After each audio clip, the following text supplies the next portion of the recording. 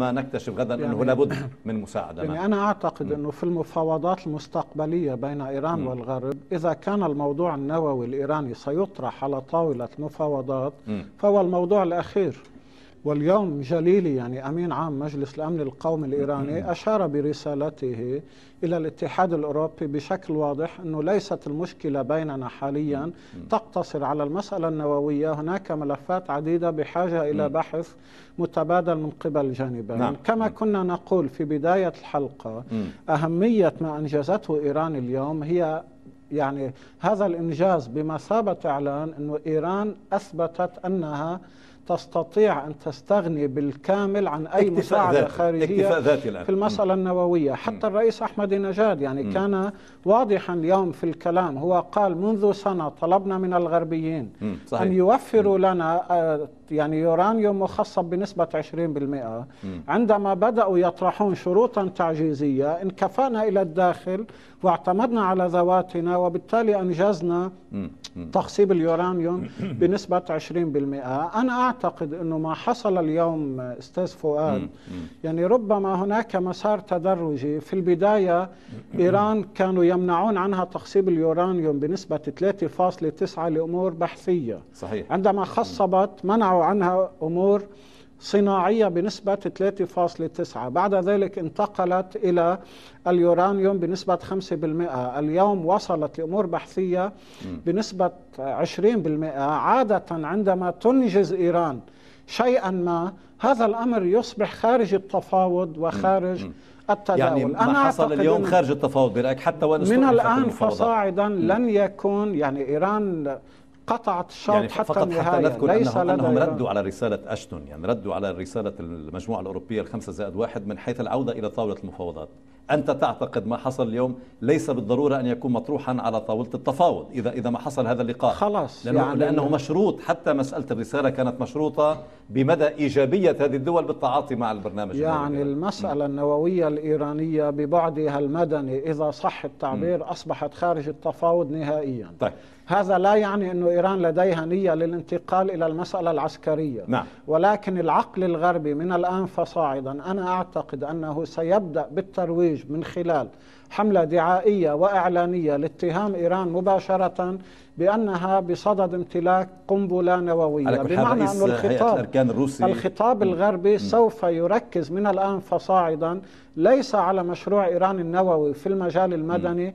بل من خلال اتهامات موجهة لإيران بأنها بصدد امتلاك رئيس هيئة الأركان. الروسي حتى نذكر يعني هو الذي قال أن أعداء إيران كما سماهم سيبدأون يعني بالتفكير خلال الأشهر المقبل بطريقة التعاطي أو التعامل مع برنامجه النووي انطلاقا مما حصل هذا اليوم اسمح لي أعود وللمستوى التقني إلى طهران والبروفيسور روشن فكر راد نعود إليه بروفيسور أعود إليك ونعود أيضا إلى يعني ما يتعلق بهذا الحدث الذي حصل اليوم على المستوى العلمي مفاعل طهران ينتج نظائر مشعة كما ذكر لاستخدامها في أغراض طبية وفي الزراعة يعني ما الأغراض الأخرى التي يمكن الاستفادة منها؟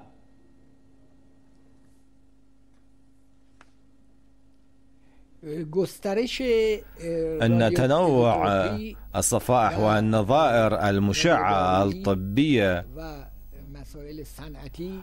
خاصة في المجال الصناعي وكذلك في المجال الخدمية في استخدام أشعة الليزر فإن هذا التنوع هو واسع جدا من الناحية العلمية وهو يشكل القاعدة الأساسية وكبنية تحتية لانطلاق النهضة العلمية لأي بلد وهذا سوف يأتي بالمزيد من الإنجازات والخير للشعب الإيراني وكل البشر وهذا كان هو الهدف المرسوم منذ البداية لبرنامجنا النووي حتى نستطيع أن نستخدمها في الجانب آه، مكافحة الآفات و في في مجال الزراعة وكذلك في المجالات الصناعية والتي سوف تدخل الكثير من التطور.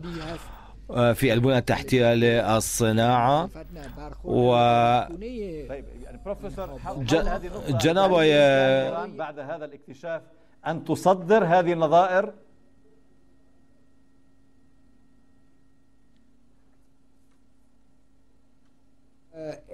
الحمد لله در بیانات عزیزان الحمد لله كما ذكر فخامة الرئيس أحمد نجاد والسيد فريدون عباسي فأن البنية التحتية للطاقة والتقنية النووية للجون الإسلامية الإيرانية صممت من الأول على أساس إمكان نقل هذه التجارب إلى البلدان الإسلامية بالدرجة الأولى وكل البلدان وهذه هي رسالة وقيم الجمهورية الإسلامية الإيرانية في نشر العلم بين البشر.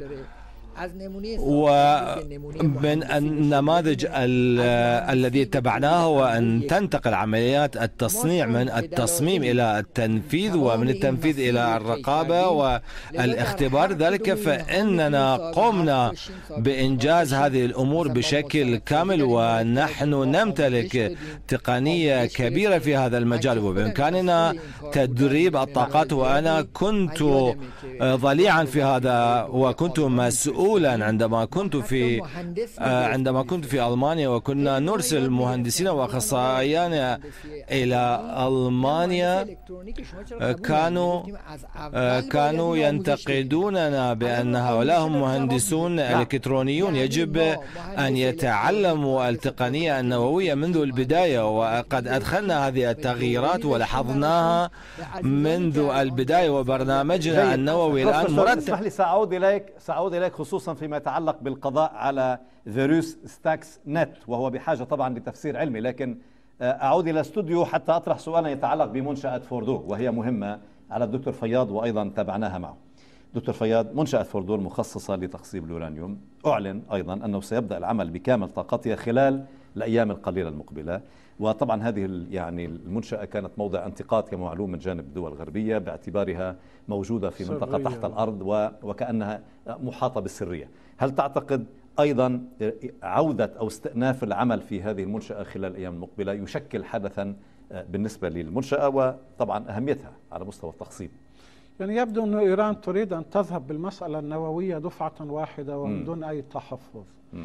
كل إمكانيات إيران النووية المتاحة لديها حاليا في المجال السلمي هي تريد أن تمضي بها إلى الأمام مستغلة على ما يبدو إما حالة العجز الغربي في التعامل مع المسألة النووية الإيرانية وإما ذهاب الغرب بالتصعيد إلى الحد الأقصى يعني م. الغرب إما أنه عاجز ما قادر يعمل شيء مع إيران وإما أنه استنفذ كل أوراقه على المستوى التصعيدي يعني عندما يفرض الغربيون عقوبات على إيران نفطية ومالية على خلفية المسألة النووية بعيدا عن منطق الحوار الذي تدعو إليه إيران يعني على الدوام وبشكل مستمر هذا يعني أنه من حق إيران عندئذ أنه بعض التحفظ الذي كانت تبديه حول بعض نشاطاتها النووية من حق إيران أن تضرب بعرض الحائط كل يعني الصبر والطول البال إذا بدك باللبناني الذي كانت تمارسه مع الآخر. ما نشهده حاليا في إيران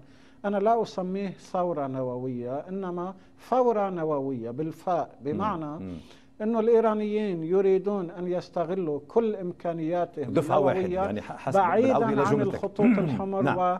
وسلاح التهويل واللجوء إلى خيارات تصعيدية طيب. ضد إيران. أعود إلى طهران وفيما يتعلق بالفيروس ستاكس نت أعود إلى بروفيسور روشن فكراد. بروفيسور المهندسون الإيرانيون تفوقوا في السيطرة على فيروس ستاكس نت طبعا يعني المشاهد لا يعرف ما هو هذا الفيروس لكن نريد أن نلقي الضوء على أهميته.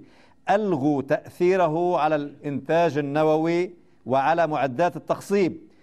وهم استطاعوا ذلك منذ عام 2009 الكشف عن هذا الأمر اليوم ماذا يعني؟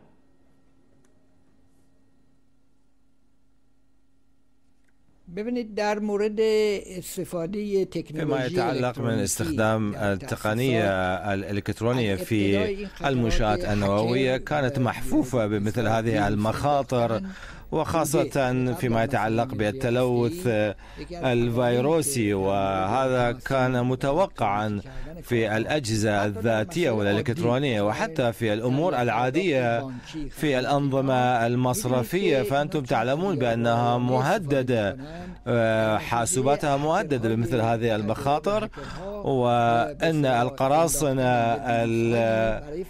الإلكترونيين هم مستعدون دائما لاقتحام هذه الأنظمة ونهبها والإخلال في داخلها.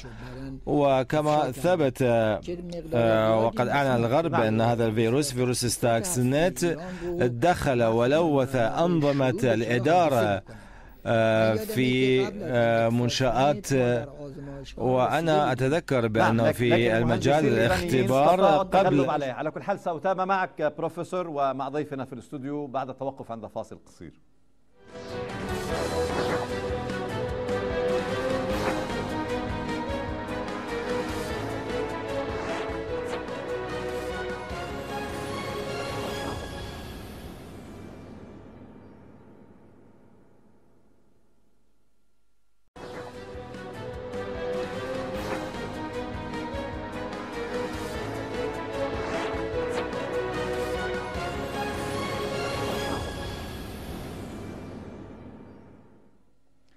نعود إليكم لمتابعة هذه الحلقة من مع الحدث إيران والإنجازات النووية الجديدة عنوان هذه الحلقة. أذكر بضيفي الحلقة في الاستوديو الدكتور حبيب فياض الخبير بالشؤون الإيرانية. من طهران البروفيسور أحمد روشن فكراد خبير في شؤون الطاقة الذرية. أعود إليك دكتور حبيب. يعني عودة أيضا إلى ما شكله هذا الحدث بالنسبة ليس فقط للإيرانيين وهم يعني أصلا في هذا التوجه لكن على المستوى الغربي. هناك من قال أن ما حصل اليوم يعني أثبت اولا على قدرة الإيرانيين في المجال العلمي وفي الوقت ذاته خالف كل التوقعات التي يعني كان يتم تداولها في الغرب من أن يعني هذه المسألة قد لا تستطيع إيران أن أن تقبل عليها. وهذا الكلام يعني قالته مصادر روسية. ماذا شكل هذا الحدث برأيك؟ يعني عندما تعاكس كل التوقعات الغربية. يعني هذا الحدث في أحد جوانبه هو بمثابه إعلان عن تحول إيران إلى دولة إقليمية عظمى. يعني شئنا أم أبينا إيران دخلت ضمن النادي النووي الدولي. نعم. حتى لو لم يكن يعني حتى رغم أنه ليس لدى إيران م. نية لامتلاك القنبلة النووية إلا أن قدرة إيران على إنتاج الطاقة النووية في المجال السلمي هذا يعني أن إيران اتخذت وشغلت موقعية مميزة على مستوى المنطقة نعم. لأنه إذا أردنا أن نقارن الدول الأخرى التي هي بحجم إيران أو بمستوى إيران م.